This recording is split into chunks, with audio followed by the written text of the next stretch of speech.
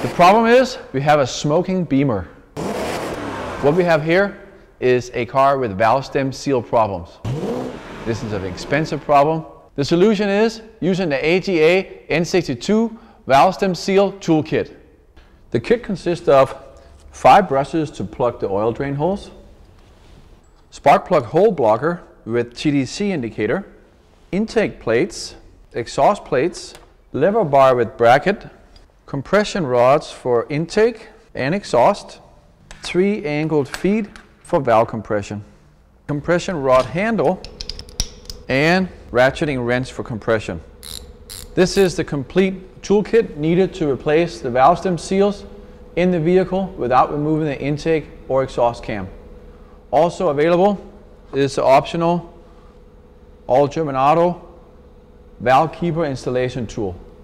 The keeper tool is very essential to do the job fast and easy and can be bought separate for people that want to use it for other applications as well. With your finger on the bottom, push the center rod up, spread the keepers like this and hold them with your fingers. Load the keepers into the tool like this with the thick end of the keeper facing up, like that. Release. The tension keeps the keepers in place. Insert it over the valve, push down and pull up. This AGA valve stem tool is uh, intended for professional mechanics. It's a quite involved job and make sure you're comfortable with taking the engine apart to this extent before you start into the job. The valve stem seal problem is that the old valve stem seal becomes hard and doesn't provide a good sealing between the seal and the stem. And as the valve is operating, this allows oil to suck through. Also, the older style seal does not have a sealing on the inside that makes a seal to the guide like the newer updated style seal has. This creates an oil pocket underneath the seal that oil can accumulate in and make the problem worse.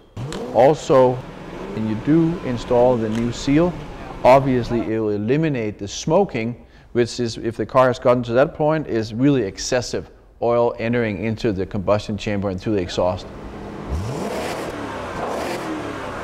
Here we have a 745. However, the N62 engine is all the same, whether it's a 5 Series, 6 Series, 7 Series, or a X5. The procedure is all the same, just the layout of the engine bay is a little bit different.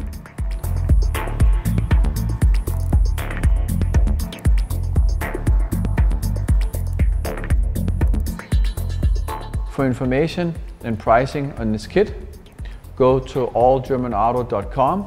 There you can see the entire kit and pricing on the valve stem compression tool and the valve keeper installation tool.